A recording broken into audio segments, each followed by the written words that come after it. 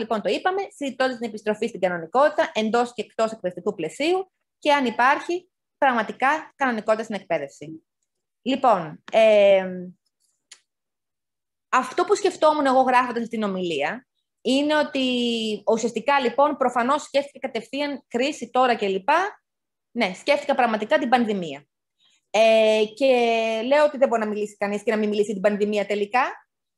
Και αυτό που αισθανόμουν είναι ότι αυτή η πανδημία μας έχει εξαντλήσει. Ε, ή όπως θα λέγαμε σε ένα πιο κλινικό πλαίσιο, ε, και τώρα βλέπετε το γραφείο μου κιόλας, είναι ότι μας έχει κατακλείσει αυτή ε, η πανδημία. Είναι σαν να μην μπορούμε να σκεφτούμε κάτι άλλο, με άλλα λόγια.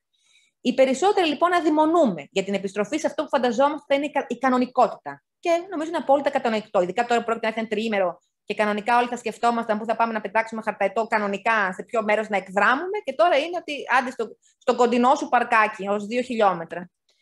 Λοιπόν, Οπότε αυτά σκεφτόμουν λοιπόν, ότι όλοι λέμε άντε ρε παιδιά, άντε ρε παιδιά να γυρίσουμε στην κανονικότητα. Ε, μπορεί να το λέμε και με άλλους λόγους. Το τονίζω ότι δεν μιλάμε για καμία πολιτική έννοια της κανονικότητας εδώ. Το λέω γιατί έχει χρησιμοποιηθεί και με άλλους τρόπους αυτή η λέξη. Λοιπόν, όμως, αναφορικά, αλλά εμείς θα το κρατήσουμε την κυριολεκτική της έννοια. Ε, σκεφτόμουν ότι αναφορικά με την εκπαίδευση, τι σημαίνει πραγματικά κανονικότητα; Αυτό είναι λοιπόν έλεγα ότι, ωραία, τι σημαίνει για ένα εκπαιδευτικό ε, να γυρίσουμε στο κανονικό μας; Τι είναι ε, το κανονικό μας; Και μήπως το μεγάλο ζήτημα είναι αυτό που, είχα, που είπα στην αρχή, ότι αυτή η εξωτερική συνθήκη την έχουμε αφήσει να μας κατακλείσει. Δεν λέω, είναι έντονη, είναι πραγματική και είναι σε όλα τα πράγματα σχεδόν παρούσα. Έτσι, να βάλεις ένα κωδικό, να βγεις από το σπίτι, όντως, δηλαδή κάθε μέρα, συνέχεια το θυμάσαι δηλαδή τι κάτι συμβαίνει. Αλλά γενικά, ε, έχω την αίσθηση ότι τα καταφέρουμε καλύτερα από αυτό και από το πολύ θυμό που βγαίνει τελευταία.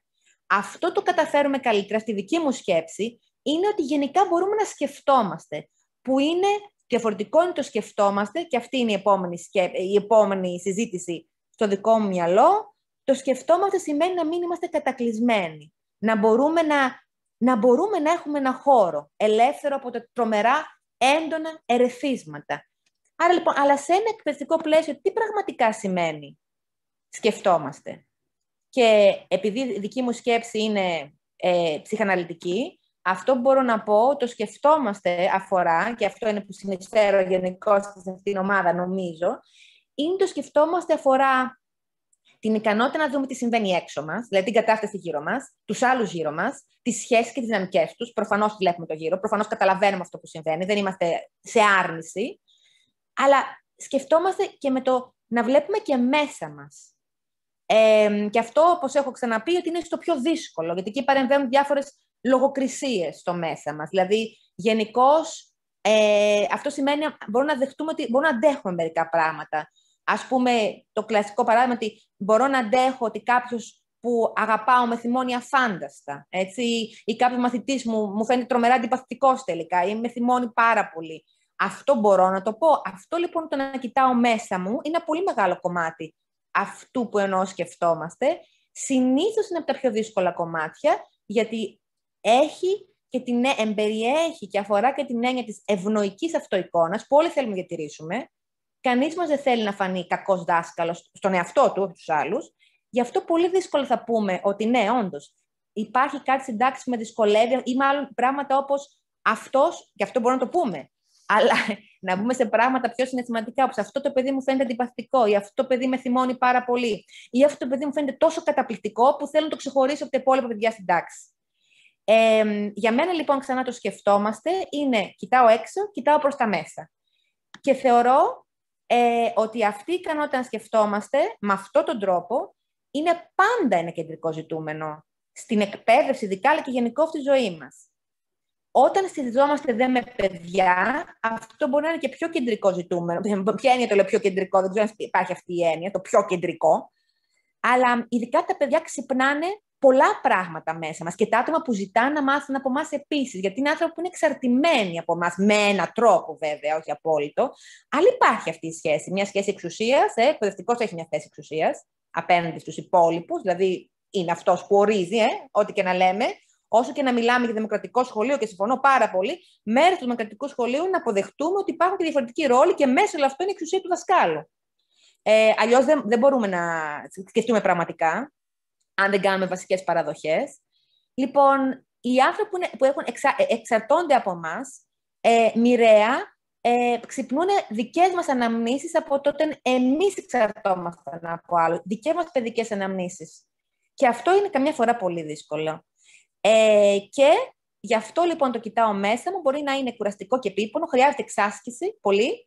Και ιδίως όταν μιλάμε για πράγματα που ακουμπάνε δικά μας εσωτερικά θέματα. Όταν βλέπουμε ένα παιδί το οποίο είναι αδύναμο και μικρό και τον αισθανόμαστε να είναι ε, ε, στην τάξη, να μην είναι πολύ ηγετικό και κάπου να αισθανόμαστε ότι ε, είναι στην, στην απέξω, ας πούμε. Εάν εμείς μεγαλώνοντας ήμασταν και εμείς λίγο στην απέξω και αν αυτό κουμπάει δικά μας θέματα, είναι πιο δύσκολο να το δούμε αυτό το παιδί με αντικειμενικό τρόπο και να μην του φορτώσουμε σε αυτό το παιδί δικά, δικά μας πράγματα.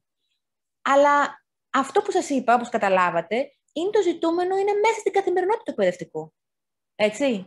Ε, αυτό συμβαίνει λοιπόν. Καλούμαστε να σκεφτόμαστε και ακόμα και μέσα στην κρίση, ή ειδικά μέσα στην κρίση, χρειάζεται αυτή η ικανότητα να σκεφτόμαστε.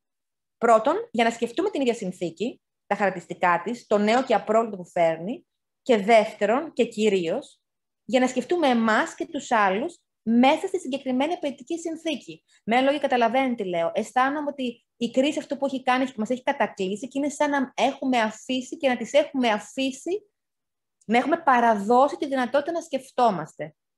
Και αυτό εμένα μου φαίνεται το πιο, να το πω τώρα μεσαγωγικά, ανησυχητικό. Ενώ τα καταφέρουμε καλύτερα. Το λέω αυτό. Προφανώς, όσο πιο συναισθηματικά έντονα είναι τα πράγματα, τόσο πιο δύσκολο να σκεφτόμαστε. Προφανώς. Είπαμε, η κρίση είναι το, αυτή η κορονοϊός είναι το πιο κανονικό πράγμα. Έτσι, είπαμε. Καθημερινή εμφάνιση, μάσκα και το SMS, ας πούμε. Αλλά ξαναλέω, οι εκπαιδευτικοί ξέρουν από κρίσει. Και εγώ λοιπόν εδώ θα ήθελα να μπούμε στην, ε, στο να σκεφτούμε λοιπόν πόσες κρίσεις σκεφτόμαστε. Λοιπόν, η καθημερινή συναλλαγή με τους μαθητές και τις μαθήτριες είναι συνδυασμένη με μικρές ή μεγαλύτερες κρίσεις που καλούνται οι εκπαιδευτικοί να χειριστούν. Κρίση αντιμετωπίζουμε λοιπόν όταν ένα παιδί στον υπηαγωγείο κλαίει παρηγότερο επειδή το παίζουν τα άλλα παιδιά. Κρίση είναι αυτό. Νομίζω ότι αν κάποιοι νηπιαγωγοί εδώ αναμεστάμαστε και, ε, ε, και άλλοι μεγαλύτερων τάξεων, το λέω αυτό το κλαίει παρηγότερο, δεν θα είναι σε μεγαλύτερα παιδιά, φαντάζομαι. Μπορεί να υπάρχει αίσθηση βέβαια της στεναχώρια, αλλά πόσες φορές το έχετε χειριστεί αυτό; Επίσης, κρίση είναι ότι ένα παιδί χτύπησε. Έτσι. Ε, αυτό είναι μια κρίση. Και πόσες φορές έχουμε κληθεί να το χειριστούμε αυτό; Ή ένας μαθητής αντέγραψε το διαγώνισμα και καλούμαστε να το χειριστούμε. Και είναι μια κρίση εκείνη τη στιγμή. Τι κάνω ακριβώς, τι τιμωρία βάζω, αναλόγως στην τάξη, αναλόγως τι μαθητής είναι, αναλόγως τι σημαίνει αντέγραψε. Ε, ε, κρίση. Κρίση είναι και αυτό, έτσι. Επίσης, ένας γονιός εμφανίζεται πολύ θυμωσμένο μαζί μας, επειδή επειδή το παιδί του πήρε κακό βαθμό, επειδή ε, αισθάνθηκε ότι ήμασταν προσβλητικοί απέναντί του, επειδή, τι να σας πω τώρα, δεν, δεν ζεστάναμε το φαγητό του παιδιού του πώς έπρεπε, επειδή ο, ο, ο, για κάποιο λόγο ένας γονιός εμφανίζεται πολύ θυμωμένος. Κρίση είναι και αυτό, την οποία αντιμετωπίζουμε καθημερινά, με, καθημερινά, σχεδόν καθημερινά, πολύ συχνά, και είναι αυτό που όμως με κάποιο τρόπο δεν μοιάζει να μας τρομάζει τόσο. Λοιπόν, άλλο, ε, ένα ε, θέμα κρίσης, ε, ε, ένας συνάδελφός μας αντιμετώπισε με άσχημο τρόπο. Επίσης, πόσο συχνό είναι αυτό το πράγμα. Ο διευθυντής, ας πούμε. Ε; Τι είναι αυτό, πώς το αντιμετωπίζει κανείς αυτό, πώς βάζει την ικανότητα να σκέφτεται, την παραδίδει αυτή την ικανότητα να σκέφτεται; Ή δεν έχουμε τα κατάλληλα, που και αυτό και είναι στα ελληνικά σχολεία, νομίζω πολύ συχνό. Τα κατάλληλα υλικά ή την υποδομή να κάνουμε το μάθημά μας. Μας λείπουν πράγματα. Θέλαμε να κάνουμε αυτό και θέλαμε να κάνουμε το άλλο και αυτό δεν υπάρχει. Ή έχουμε ένα πολύ δικαιωτικό παιδί στην τάξη και δεν έχουμε κάπου να απευθυνθούμε. Ε; Επίσης, κρίση. Τι κάνουμε ένα παιδί που κάνει πολύ μεγάλη παιδί μου ένταση, πού να ρωτήσω, πώς να ρωτήσω; Άλλο. Αισθανόμαστε εμείς ήδη αδιαθεσία μες την τάξη, αλλά πρέπει να ολοκληρώσουμε το μάθημα. Και αυτό δεν είναι κρίση. Μα σαφώς είναι κρίση όλα αυτά. Και αυτό που θέλω να πω είναι ότι όλες αυτές είναι οι κρίσεις που καλούμαστε να αντιμετωπίσουμε καθημερινά Άλλες μας δυσκολεύουν λιγότερο, άλλες περισσότερο. Εξαρτάται φυσικά από την εμπειρία μας, τις γνώσεις, τις δεξιότητες που έχουμε αναπτύξει.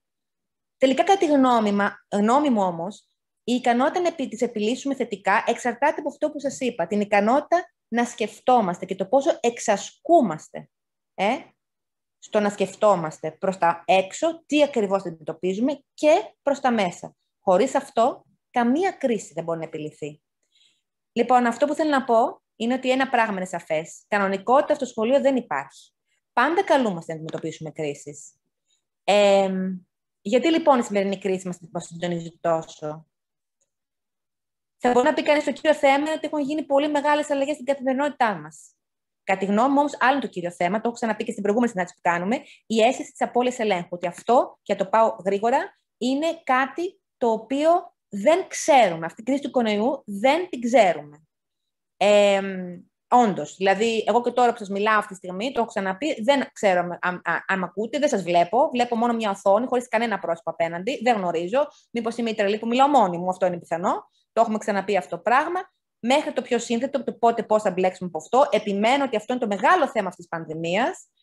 Ε, επιμένω ότι το μεγάλο θέμα σε όλο αυτό το πράγμα είναι για να μπορέσουμε να διατηρήσουμε την ικανότητα να σκεφτόμαστε που θα μας βοηθήσει τελικά στην κρίση, είναι να πούμε ότι είναι εντάξει να μην τα ξέρουμε όλα, κάτι που είναι μάλλον πολύ ανακουφιστικό για εμάς και για τους μαθητές μας και αν το πούμε αυτό, τότε είναι η περίπτωση να, όντως να μπούμε στη διαδικασία να σκεφτούμε.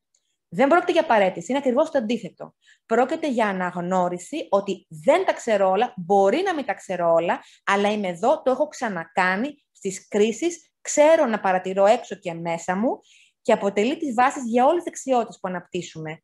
Αντιμετώπιση των προβλημάτων και των κρίσεων. Είναι εντάξει να αισθάνομαι φοβισμένος, φοβισμένη, είναι εντάξει να ταράζομαι, είναι, είναι εντάξει. Και αφού το αναγνωρίσω τον εαυτό μου ότι μπορεί να το κάνω αυτό, μπορώ να αισθανθώ, είναι εντάξει λοιπόν, δεν είμαι παντοδύναμος, αλλά όπως κάθε φορά θα προσπαθήσω, άρα λοιπόν μπορώ να προχωρήσω. Όπως είπαμε, ως εκπαιδευτική, το έχουμε ξανακάνει σε τόσες και τόσες περιπτώσεις.